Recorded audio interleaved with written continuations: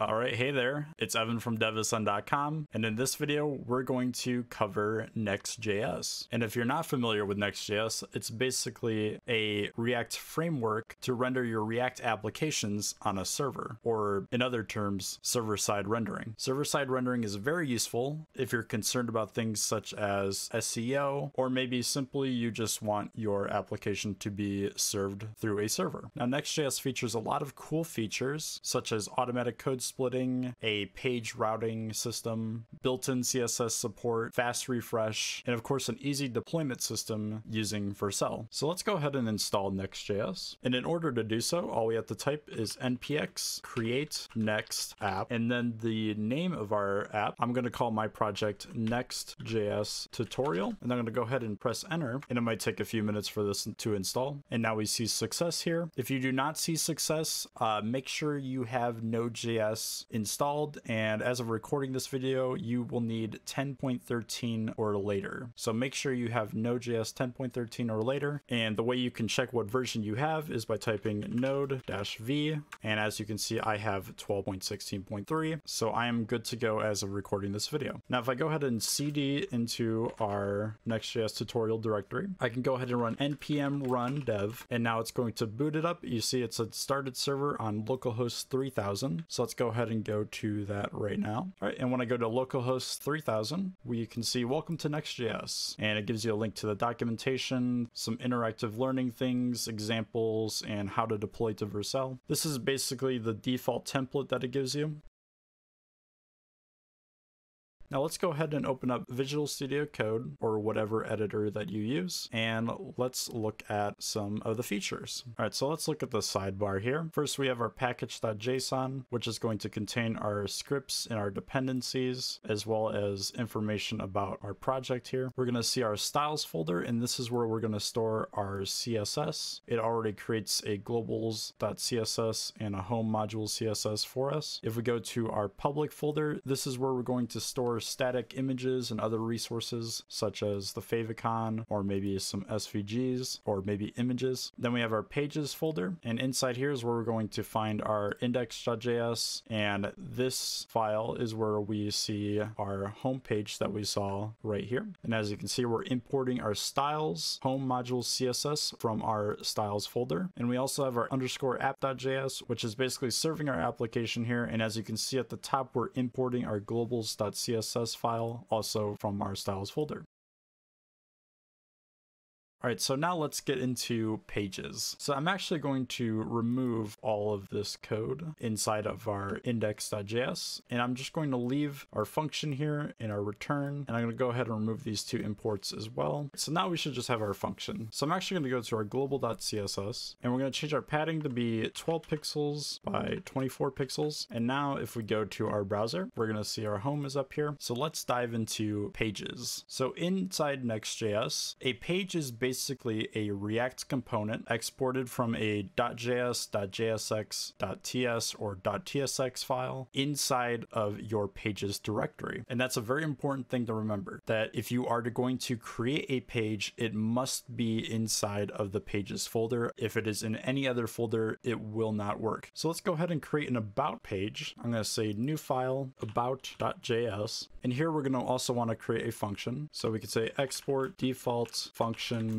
about, and let's return a div and a h1 tag that says about. And now if I go to slash about, we're going to see about. I'm actually going to make this an h2 tag just to be consistent. But as you can see, when we created the about.js file inside our pages folder, it automatically created a slash about route for us. So if I were to rename this file contact.js, then if I typed slash contact, it would take me to this component here or this page. So by default, Next.js pre-renders every single page. This means that Next.js generates the HTML for every page in advance instead of having it all done with JavaScript on the client side. And Next.js pre-renders this because it can result in better performance and help your SEO. Now, Next.js has two forms of pre-rendering. The first is static generation and the second form is server-side rendering. With static generation, generation, the HTML is generated at build time and is reused on each request. But with server side rendering, the HTML is generated on each request. Now, what's cool about Next.js is they actually let you choose which form of pre-rendering you want to use for each individual page. So you can have some pages that use static generation and you can have other pages that use server-side rendering. Now, it's recommended to use static generation over server-side rendering because it helps increase performance, but in some cases you may need to have server-side rendering and that might be the only option that you can use. So let's take a look at what static generation without data would be like. This about function here and our home function here is static generation without data, meaning we are pre-rendering this page using static generation and we're not fetching any data, meaning we're not taking data like maybe an array of objects or some sort of API endpoint. We're not fetching anything like that. So this is basically just static generation without data. Now let's say you want static generation with data. You want to fetch an API endpoint. If your page content depends on some sort of external data like that, we use a function called get static props. And get static props is actually the next thing that we're going to touch on.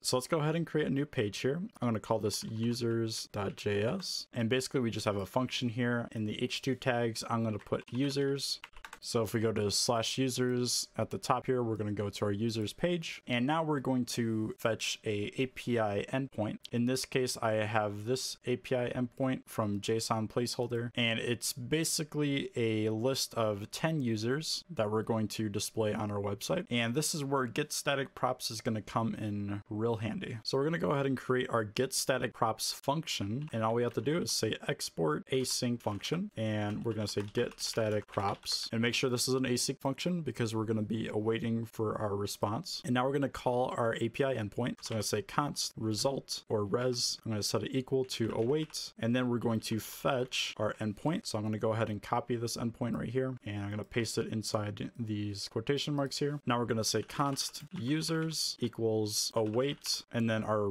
response variable dot JSON. Okay, so now all we have to do is actually return this users variable and we're going going to utilize that in our function up here. So I'm going to say return props and inside here, we're going to do an object and this object is going to contain our users. Okay, now actually we need to do one more thing here before we actually start using this data. We're going to need to go up to our function here and inside the parameters, we're going to put curly braces and then we're going to say users, which again is the prop that we are returning from our get static props. All right, so now just to ensure that we actually have our users prop here, I'm going to import use effect from React. And here we're going to say use effect, and we're just going to actually console log users. So I'm going to go ahead and save that. I'm going to go to our browser and we're going to go to our console. Ignore these warnings here. I think it's something to do with the extension I have. So let's go ahead and open up this and we see our object here and we see all of our users that we got from this API endpoint that we fetched through our get static props and we returned those props here up into our function. So now let's go ahead ahead and actually map out these users real quick. So in our JSX, we're going to say users.map, and here we're going to say user, then we're going to have the arrow function, and here we're just going to put a div, and inside this div, we're going to have a h3 tag, and here's where we're going to put our user.name, like so, and remember we're accessing that because we're accessing the name property in our object. So now we can see all our users here, and what else can we access? What else do we have here? Uh, we can access their email, so let's go ahead and put the email in the p tag like so. And now we have all our users that we see in their emails. And this data is all fetched on pre-render, meaning we're fetching it before the page even loads. So this is basically how you would fetch data for your page content before actually rendering the page using get static props.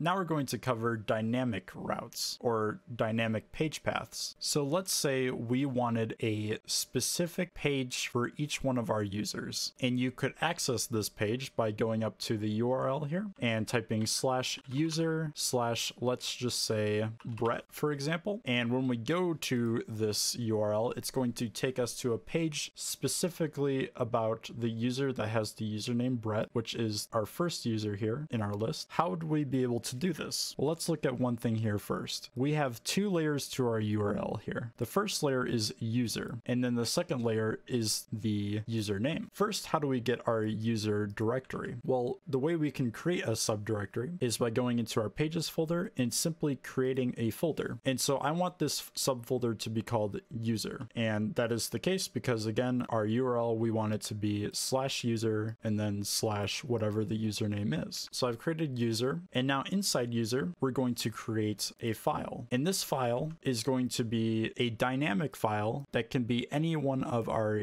usernames that we have in our list. So I could just go ahead and manually create a brett.js file like so, but this is not a good practice because we could be adding users or removing users in the future. And so manually having to go in and change those is just not good practice. Instead, what we can do is we can create a dynamic page path here. And the way we create a dynamic page path is by using two brackets, two square brackets. And inside the square brackets, we're going to put some sort of ID. So I'm going to call this ID username because that is what we want to use from our object. As you see username here, we're using the username property in our URL. And so just like before, we're going to create a function. The reason we have the square brackets around username here is because this is basically acting as a placeholder for a unique ID that we're going to use to access this page. And so similarly to get static props, we're actually going to use a function, but this time we're going to use export async function get static paths because we're going to have dynamic paths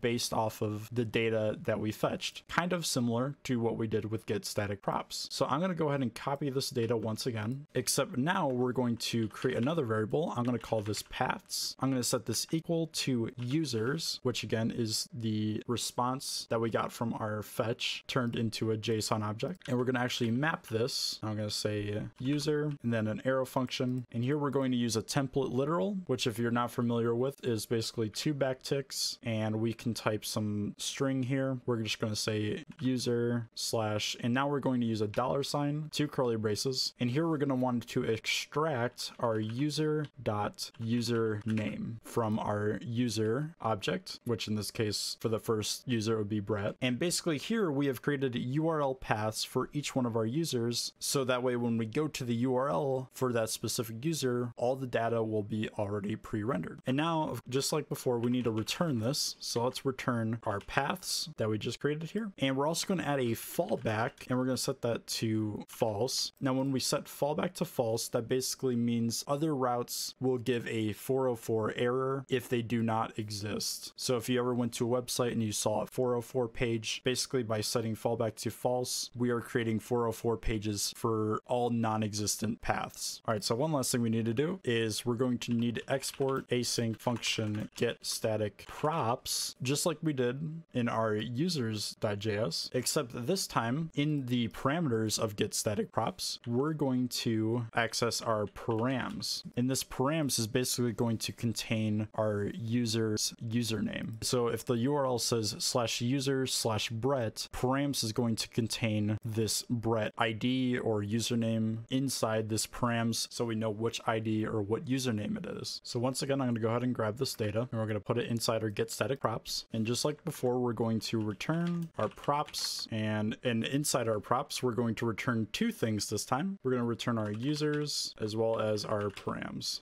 All right, and now if we go to the top, we're going to pull our users and our params, and I'm going to go ahead and import use state from React. I'm going to say const user set user and set it equal to use state. And inside our use state, we're going to say users dot find, and this find function is basically going to find us a user in our array that has the same exact username as the username we're passing in our params. So to do this, I'm going to say u, an arrow, and then we're going to say u dot username and we're going to check if it's exactly equal to params, which again we're passing in here, dot username. And so now it's going to set our user variable here to be that user that we found in our users array. And so now that we have that, we can actually use this user. So if I say user dot name for our h2 tag, and let's go ahead and add a p tag that says user dot email. If we go to our browser and let's just go to slash Brett, which is the first user in our users list. So I'm going to type slash user slash Brett. We're going to see now we can see that user and their email. And just to show show you another example. Let's go to our array of users here. We're going to do the Ervin Howell one, and that has a username of Antoinette. So if we go ahead and go to slash user slash Antoinette, now we can see Ervin Howell and the email attached to it. So this is basically how we can utilize get static paths to create dynamic paths in our URL and also using get static props to fetch our data. Now, in most cases, you're probably going to have an API that has a list of things such as like maybe a list of posts and you're actually going to have a direct access to each individual post. But with the API that I used, which is slash users, there's no specific user that I can access. So I had to go in and fetch all of the users. But typically you won't have to do that.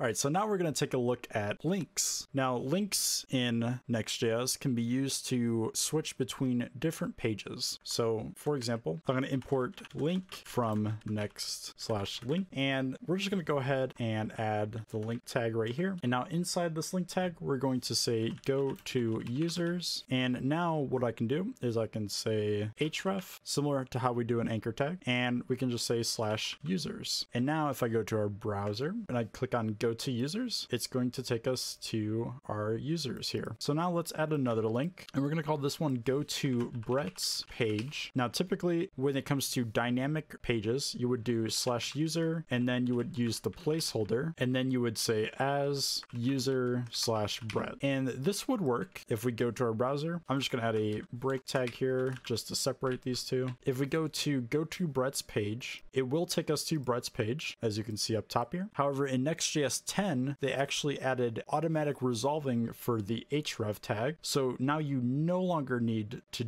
use both href and as. Instead, all you can do now is just say slash user slash Brett. And if we go to our browser and I click on go to Brett's page, it's going to take us to Brett's page. But keep in mind, this is only as of Next.js 10, which just came out. So you cannot do dynamic routing like this with links unless you're on Next.js 10 or above. If you are not on Next.js 10, you're going to have to use the as and say user slash Brett or whatever username, and then change this back to the placeholder. Now, the reason links are useful as compared to using anchor tags is they allow for client side transitions between different routes on the website. So let's go ahead and go to our users page where we're listing all our users. And now I actually forgot to add a key to our div, and we can just say user.id for the key. And this is just to suppress the warning in the console that you need a unique key for every element that you're mapping. So now that we have that done, I actually want to add a link inside each of these users. So I'm going to say import link from next slash link. And inside our div here, we're going to say link and we're going to say go to user page. And so now what we can do is I can say href and we're going to use a template literal inside here. So we're going to do backticks and we're going to say slash user slash and then here we're going to do the dollar sign curly braces user dot username. And now whenever we click on any of these go to user page links, it's going to take us to the appropriate users page. So let's go ahead and show you that right now. So I'm at the home page right now. I'm going to go ahead and click on go to users. It's going to take us to our users page. And now we see a go to user for each one of our users. If I click on go to user for let's say Leanne Graham, it's going to take us to the appropriate page. If I go to the user page for Ervin Howell, it's going to take us to the page for Ervin Howell. So this is basically how you use the link component and how you can use it dynamically for say if you have a list of users. But that pretty much covers how you can switch between your pages. Anyway, that's going to pretty much cover this crash course. And if you want to learn more, I have courses and other content on devascend.com. I'm going to have a more in-depth Next.js course coming soon. It might actually already be out by the time you're watching this, but if it's not out, it will be coming out soon. So again, if you want to head over to devascend.com, we're going to be having a lot of content there. If it's not there, it will be coming soon. But uh, yeah, that's pretty much going to cover this crash course. If you have any suggestions for future videos, feel free to leave a comment down below if you need any help, or you could join the DevAscend Discord server and either myself or someone else will be able to help you out there. Anyway, thank you for watching the crash course, and I hope to see you next time.